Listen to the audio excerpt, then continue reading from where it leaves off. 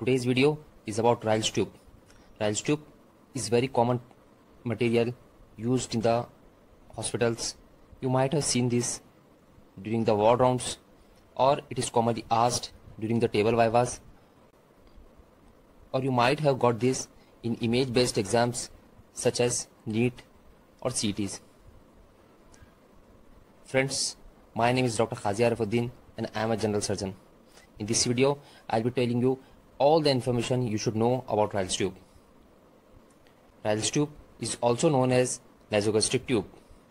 Nowadays, we get disposable Ryle's tube which are made up of polyvinyl chloride plastics. It is a single-use material which is sterilized by gamma radiation or ethylene oxide before packing. Standard length is approximately 100 centimeter or 1 meter. It is available in different sizes. Pediatric sizes may come in 5 to 12 French whereas adult sizes are 6 to 18 Frenches. Now what is French? French, French is a measure of diameter whereas diameter in millimeter is equal to one third of French. That is if the size of the Ryle's tube is 18 French, it means the diameter is 6 mm. Now let's move on to the parts of Ryle's tube. Ryle's tube has got three parts, tip, body and base. Tip is beaded, tip is beaded at the end which is a tough made up of lead shot but it is blunt so that it does not injure to the mucosa. Also it is a radio opaque. So the tough tip it avoids kinking and also we can locate it post procedure by the x-rays. There are multiple holes or eyes which help the easy drainage of the content. The body has a radio opaque line and has different lines which suggest the length from the tip. These marks are usually at 50 centimeter, 60 centimeter and at 70 centimeter. Some of the Ryle's tube also have a line at 40 centimeter. So when the tube is in the body and the end is at the nose, so the distance can give you approximate uh, uh, approximate location of the tip. For example, at 40 centimeter mark, the Ryle's tube tip is at the cardioesophageal junction. At 50 centimeter, which is suggested by two lines, the tip is in the stomach. At 60 centimeter, the tip lies in the pylorus, whereas at 70 centimeter, the tip is in the duodenum. Now the base is occluded by a cock and also has a it has an opening through which we can inject and we can give the feeds. Now let's see what are the indications. Basically Ryle's tube indications are divided into two parts that is diagnostic and therapeutic. In diagnostic first is the diagnosis of the internal bleeding either from stomach or from the upper GI tract Second is diagnosis of tracheoesophageal fistula to check if it if the Ryle's tube goes into the stomach or not. Third indication is the chemical analysis of the gastric aspiration. Fourth is the esophageal stricture can be localized with the help of this tube. Another indication is, is to assess the gastric function test to see the secretory activity and mobility of the stomach. Collection of duodenal content to see the typhoid carrier and also to demonstrate the tubercle bacilli is also another indication. Beard sign for the diagnosis of the pseudopancreatic cyst is rarely done nowadays.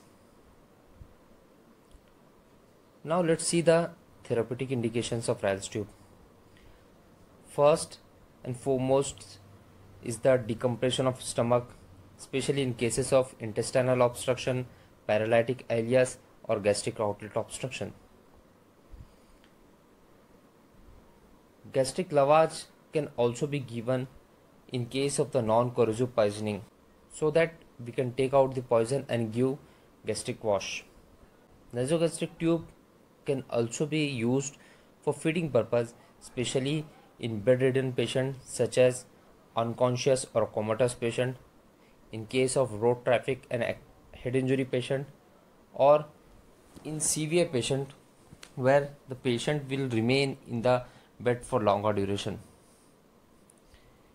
Ryle's tube can also be used for treatment of the hematemesis as through this we can inject the drugs. Administration of drugs can also be done through this.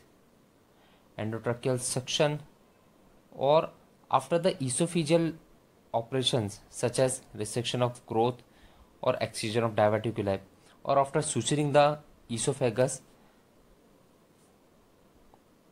this Ryle's tube is kept in situ. Also before operating on the facial surgeries Ryle's tube is commonly placed before the operation in case of the abdominal trauma to give the bowel rest especially in case of acute pancreatitis. Coming to the contraindications, the absolute contraindication for Ryle's tube is acute corrosive poisoning because in case of the alkali or acidic poisoning there is mucosal edema. If we try to insert Ryle's tube then it may damage or perforate the mucosa. That's why it is contraindicated but the relative contraindications are severe maxillofacial trauma especially the fracture of skull base and also sometimes in esophageal stricture is also considered one of the relative contraindication for Ryle's tube insertion.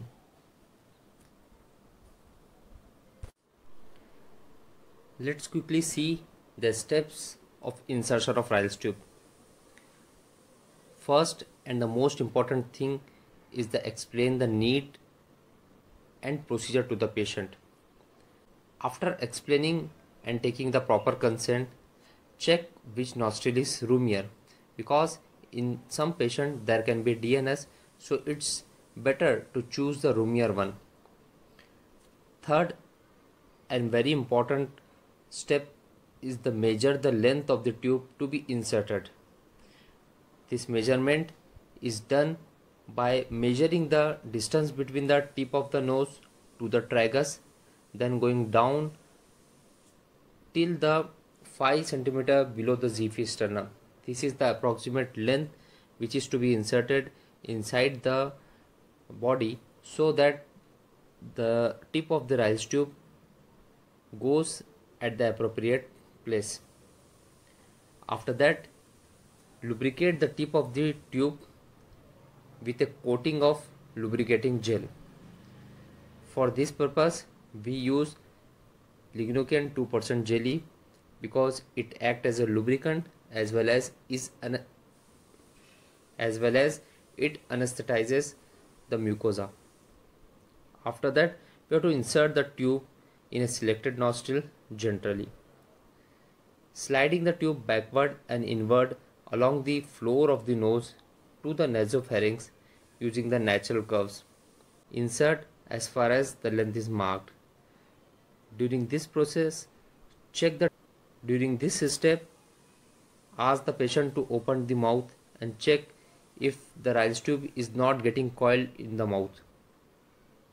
Once you are sure that you have reached until the marked Ryle's tube, then aspirate the content and check if it is a gastric content or not after that we can also push the air inside the Ryle's tube and with the help of stethoscope we can keep it on the epigastrium and a sudden gush of the air can be auscultated.